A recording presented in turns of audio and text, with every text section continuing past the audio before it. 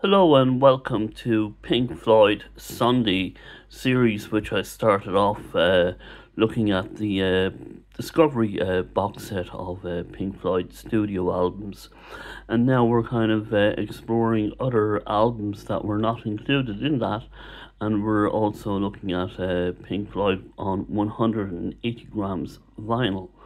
And today we are looking at. Um, momentary lapse of reason. It's the 2018 mix, I think, and um, it's on double vinyl on 45 uh, PM, and it's very very RPM. Sorry, not PM, and it is uh, very very good. I really really enjoyed it.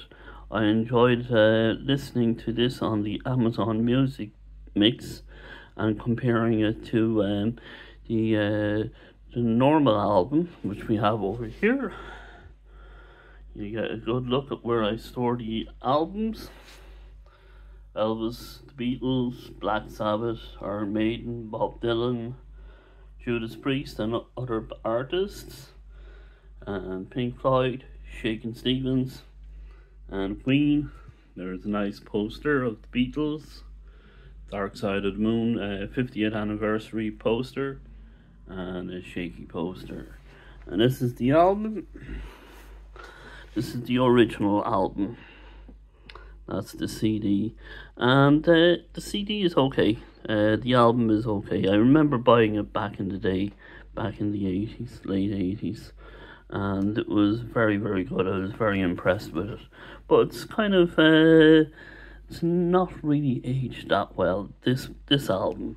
But this has this is absolutely fantastic. The remix is amazing. Kind of, um, it covers a lot of the issues uh, on this album and just really, really improves on it. Will I get the CD of this and compare? Probably. More than likely. We like to do um, mad things, get uh, more than one copy of um, the same album a few times over. So uh, why not? Uh, this is the CD in the Discovery box set. And that's what it looks like. And we go to the album now shortly. And this is just a recap. so I see what they did there now. They put this cover, middle section of the CD, onto the album. And there's no hand glider in this in the in the CD. So I'm wondering what the uh, original album will like. Will I get the original album? Yeah, of course I will. E- eventually I will get it. So that's the CD booklet. That's with the album from the Discovery box set, and this is a good album. But um, as I said, there's some issues with it, and um, creative issues, shall we say and this one kind of uh, just um, covers uh, corrects those uh, issues and it's a fine fine album. Is it a 10 out of 10 album? No it's probably a 7 out of 10 album but it's still a very very good album. Is it better than the final cut? Oh of course it is. Way better than the final cut but not as good as the wall. Uh, i put it to you like that. Is it better than amused to death um, kind of on a, uh, two different albums, I suppose. And uh, w- w- Roger Waters has a kind of a grit to it and a bite to his lyrics, and Dave, David Gilmour is more mellow at pointing things out, where Roger has the bite and the snap. So we'll have a look. We'll take it off the easel.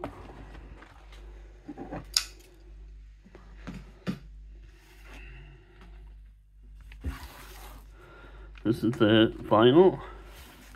And the hype sticker was not harmed. I took it off to shrink. I got it a couple of weeks ago, so I've been playing it quite a lot.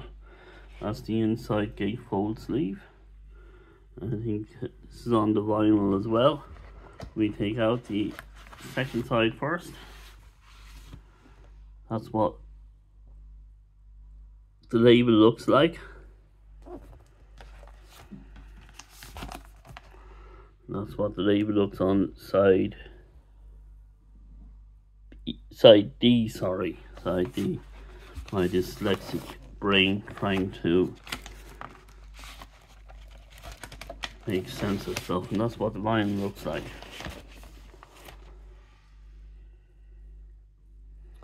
And it sounds absolutely fantastic. Very, very happy with it. Hold on. Yeah, you're seeing the big black space there. Nothing wrong with the camera. Just me trying to put the vinyl back into the sleeve with one hand. And that is very, very, very, very difficult to do. So that goes in like that. Again, a 7 out of 10 album. It's a very, very good album. And um, very enjoyable one. And I kind of like listening. Here's the hype sticker. There's the price. Got an HMV in Yeovil. There's the hype sticker. It has not been harmed. 45 RPM. So what I did, uh, I put this onto uh, my turntable and I forgot to turn it on to the 45 PM and it was playing away and then I heard David Gilmour singing, and then I realised that um, I had to turn it onto the onto the 45. That's that one. And another thing I'd done uh, with my when I bought uh, the turntable after not having one for over 10 years. Um, that's the second label. I won't take out the vinyl. I'll go through through the booklet. But as I, as I was uh, saying, the, I bought the Lenco uh, PS300 and I unpacked it. I was putting on an LP and uh, there's a nice fuller picture. I was putting on the LP and the LP kept skipping away, or sorry, not the LP, the needle kept skipping away and skipping away. I think that's photocopied. Not 100% sure. I, I heard somebody say that was on a YouTube video. So uh, I it kind of looks it. So uh, if you want to let me know that it is, uh, please do so. Uh, but yeah, I'm distracting myself from the story of the turntable. And the turntable, and I was playing and putting the needle onto the record. And I kept skipping through the um, through the vinyl. I was doing this over and over.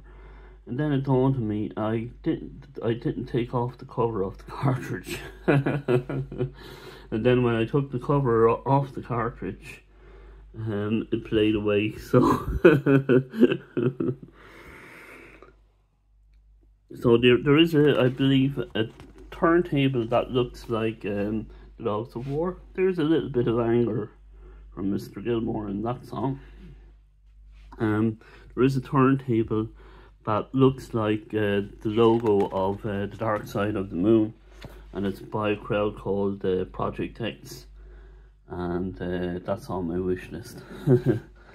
we'll see how it happens. How it happens that I, I, I, I feel it in my bones that I know I'm going to get it. So we just see what happens. That looks like a good Jack Vettriano painting. Yeah, I think it does. There's another variation of the cover of the puppies.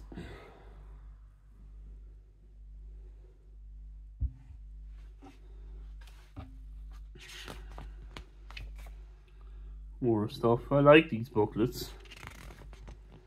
I kind of, kind of, yeah, that, that one is the one that's photocopied, and I still think the one earlier looks photocopied as well, so.